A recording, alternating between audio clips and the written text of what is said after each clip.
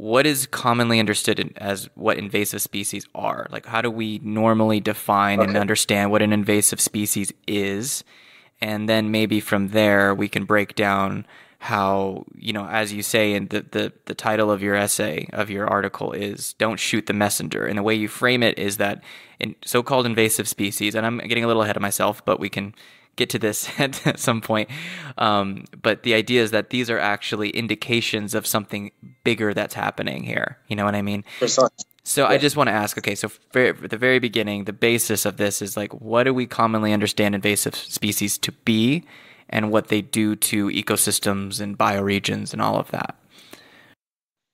Okay, so there is the common idea, which is not agreed on, but we'll, we'll say what the, com- the common idea is that invasive species are non-native species. That is, species that are somehow conceived to be foreign to a particular place. Right?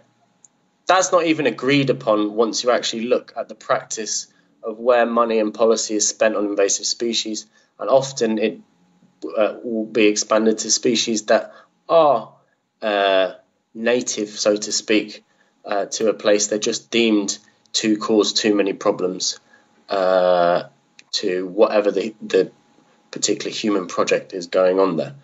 I think a, a, a better way for me to ground this would be to go through a couple of historical points um, that give an idea of where this comes from. Mm-hmm. Um, yeah. And so, first, I'll just mention that the I'm I'm not an expert in in uh, all of the details uh, of all the cases of invasive species in comparison to some other experts out there. One of them being the Tao Orion book that I quote in the article, and uh, uh which which she herself notes um, that within the American context, uh, it emerged with the Second World War and sort of ideas about having um, basically foreign elements that you want to evict um, from your particular territory. And then she notes that earlier in the beginning of the 20th century, there is, well, what you could effectively call pests uh, to do with, with the relation of expansion of agriculture and how to manage them. Now, that's a particular American uh, side to the story, where my expertise comes in is to do with um, British colonialism because that's where my research, the history of it, is based in. And in that context, which obviously does have a relationship to the American context, but is not exactly the same, um, what you effectively have, or well, Cyprus is where my main research was based, right? So um, what you have there is in the late 19th century when British turned up in uh, Cyprus similar to many other places they colonized. Um, they brought with them a set of species that they liked um, to hunt, which they would call game animals. Those animals would become protected, along with a particular set of animals that they chose to decide were good wild animals. The criteria for which um, is, is not something that I'm going to spend my life mind-boggling how they selected some of the criteria for the uh, these animals because they don't necessarily make any ecological sense. Um, it's you know, very arbitrary, um, which is a certain problem that still exists. But anyway, so you set aside um, certain animals that are good wild animals, good game animals, and everything else um, is essentially fine if it doesn't get in the way of your pursuit um, of, of, the pursuits of your empire or your of your society. If it does get in the way, uh, then you designate it as a harmful species and therefore it should be removed. In addition, what you get with a later development is that this becomes in itself um, a demonstration of the legitimacy uh, of of your environmental administration, showing that you're actually doing something. You're actually managing to control and manage uh, a territory in terms of the land. And so you turn uh, some of these invasive species into um, a scapegoat in, a, in and of itself. So it's, now it's less about getting in the way of your own, own endeavors and demonstrating as an administration, whether it's colonial or whether it's a democratic environmental administration, demonstrating to your membership and your citizens that we are doing something. We're spending money uh, on protecting this environment. And it's a very easy and simple logic to say this species uh, is causing this problem to this one. And if we delete uh, this one, which uh, there's too many of, or it's causing too much harm, then we'll have uh, more of the other one. Where my research went was into actually looking at the methods for eradicating uh, certain species and demonstrating that they didn't even work. Mm, um, yeah. So that was where I was going, was looking at it technically before then elaborating into whether it makes ecological sense, uh, whether it makes economic sense, and then obviously the political dimensions. Was first like, does it actually technically work? Um, and in the particular case that I was looking at, no, it didn't work for a number of reasons. It, in that case, it usually uh, the most basic mathematic mathematical logic you can think of, which is you deal with something as a population of homogeneous individuals.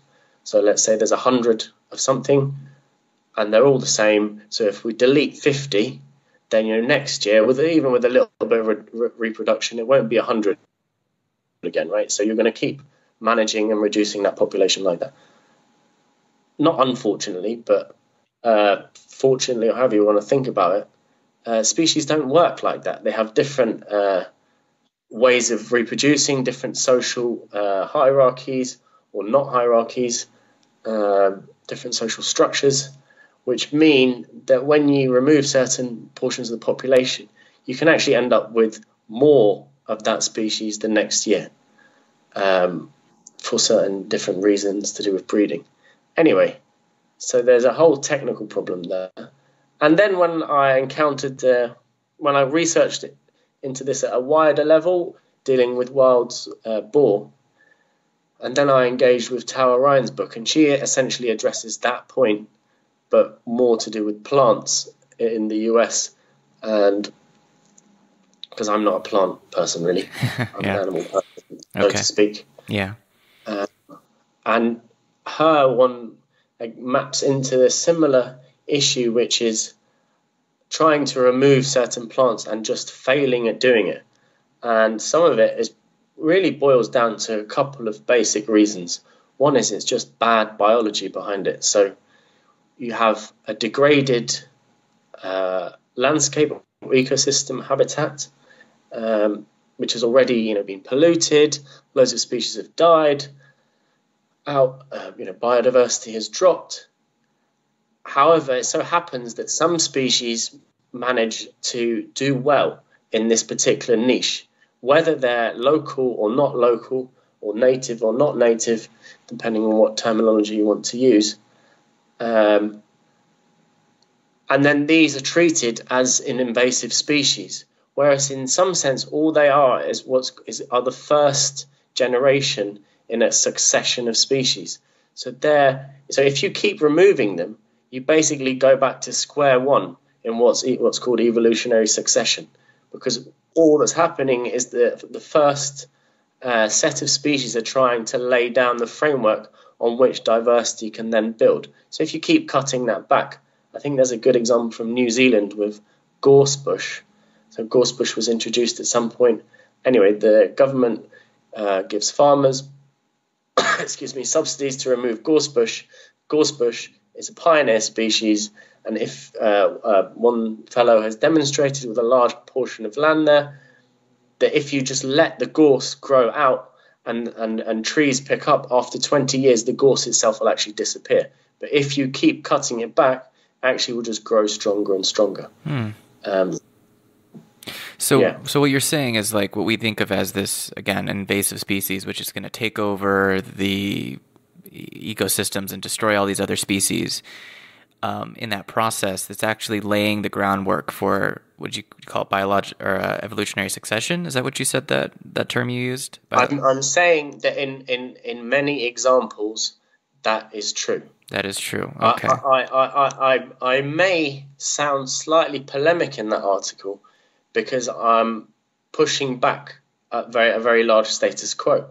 Evidently, I'm aware that in each particular context, uh, there's going to be a, a, slightly different answer. And that's why in the article, the unifying point of the article is to not do that type of science of invasive species are a an, uh, something that needs to be eradicated to stop biodiversity loss at a global level. And then we're going to send that down as a policy which filters down into certain subsidies that's going to play out in very odd ways. No, what you need to do is you need to form uh, you know, democratic committees of people within those areas that does include uh, scientists and other experts to work out what is actually going on here and deal with it in, within that context.